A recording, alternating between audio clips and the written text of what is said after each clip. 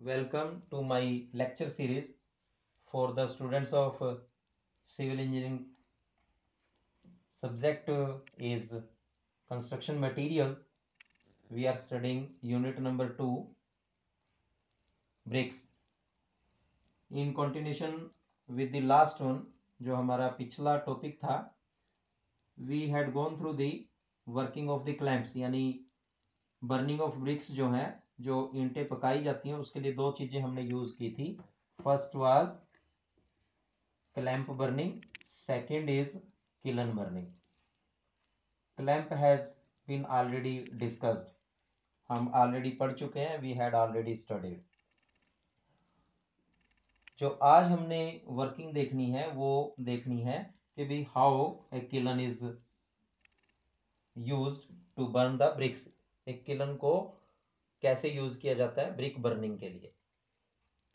इसका जो है we will study this working of the kiln I will thoroughly discuss about the Bull's trench kiln through a model which I have made for you this is the Bull's trench kiln model we will discuss is it in this video also first of all we should study about the six phases हमने ये छह phase पढ़ने हैं और ये छह के छह फ़ेज़ जो हैं, वो सेम है दोनों के लिए। बुल्स के लिए भी और हॉफमैन्स के लिए भी। मींस वर्किंग जो है वो टू सम एक्सटेंट सेम है।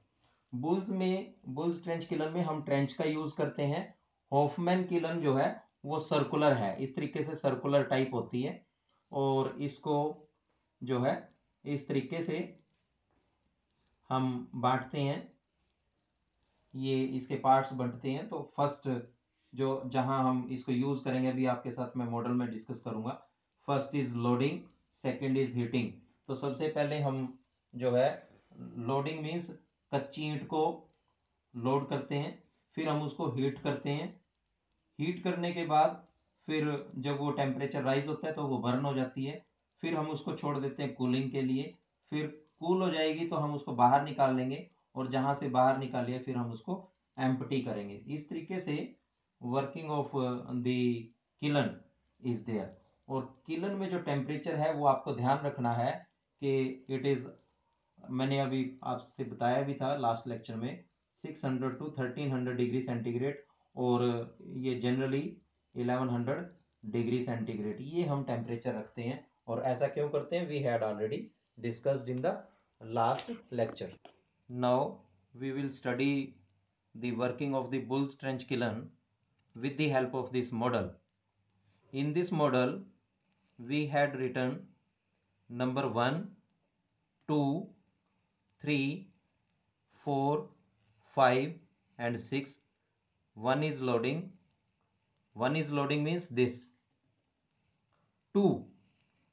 Second one is this heating third one is this burning fourth one is this cooling fifth one is this unloading the last one is emptying again यहाँ six है यहाँ one से फिर start हुआ one two three four five six loading heating burning cooling unloading and last one is emptying अब ये काम कैसे करता है? मैंने आपको इसकी नेमिकुलेचर तो बता दिया।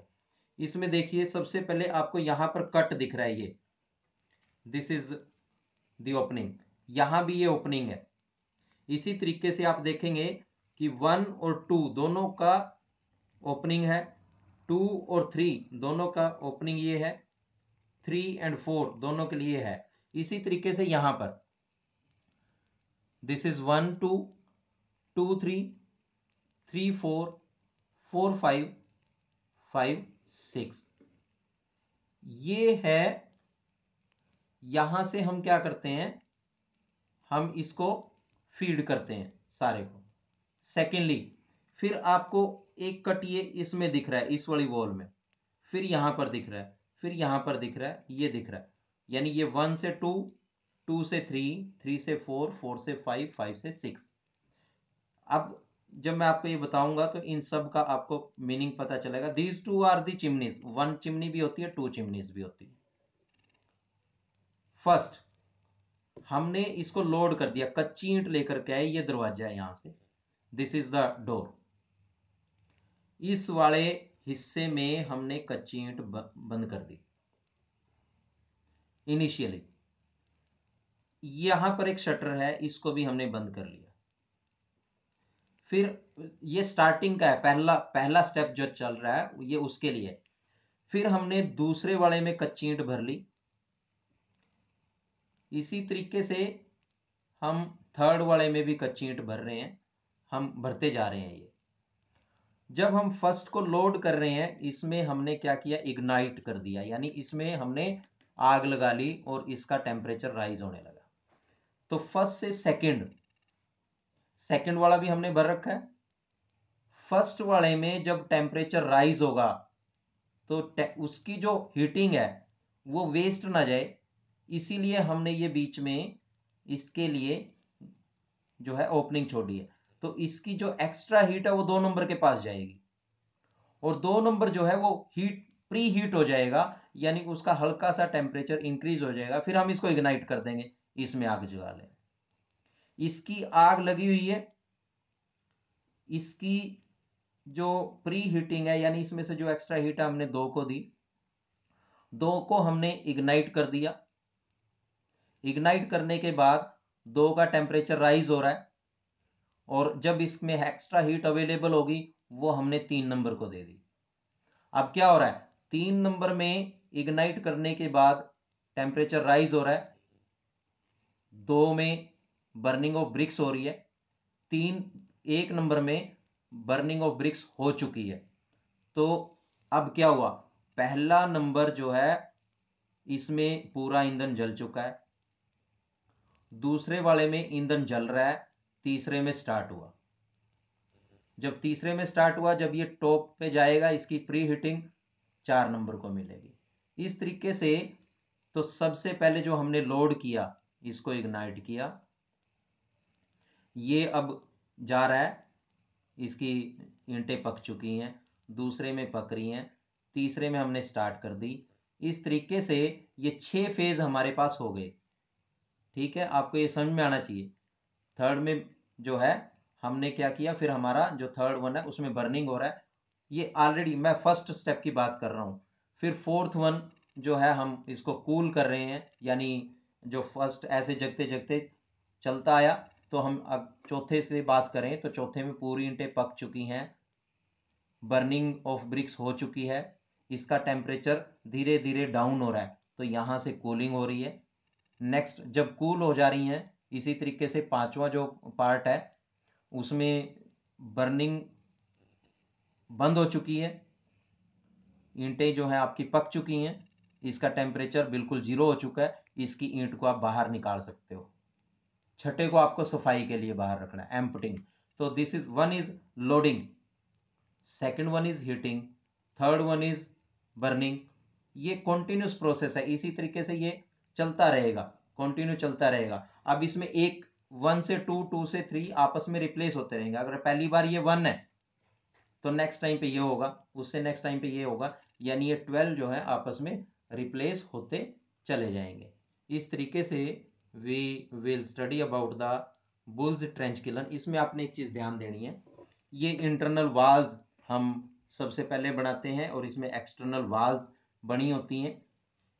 इसका टॉप, वो ढका होता है और टॉप में यहाँ से बीचों बीच उसके टॉप में बीचों बीच फ्यूल डालने की जगह बनी होती है ताकि अगर कहीं पे हमें लगे कि भी हमने जो ब्रिक्स इसमें लगाई थी, उनके बीच में फ्यूल कम रह गया तो हम ऊपर से वो डाल सकें। और ये सारी वन टू वन इंटरकनेक्ट होती हैं थ्रू दीज चिमनीज।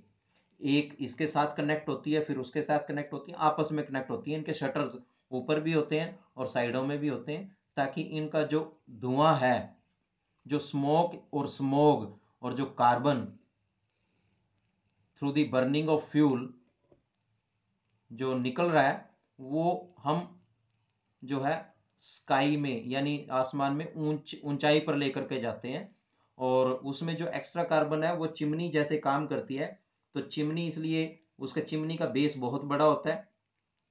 ऊपर जाते जाते चिमनी जो है, वो उसका जो डाया है, वो बहुत कम रह जाता है। उस केस में क्या है, जो कार्बन कंटेंट है, जो अनबरंट फ्यूल है वो धीरे धीरे चिमनी के अंदर की तरफ़ जमता रहता है और ऊपर की तरफ़ फ्लू गैसेज या जो धुआँ है, उसमें कार्बन कंटेंट कम होते हैं ताकि वो आसमान में ऊपर चला जाए और आसपास के एरिया को डिस्टर्ब ना करे, वहाँ के एनवायरमेंट को जो है वो पोल्यूट ना करे। That's why the chimneys are provided in this kilns. Thank you all. Please subscribe my channel, like and share.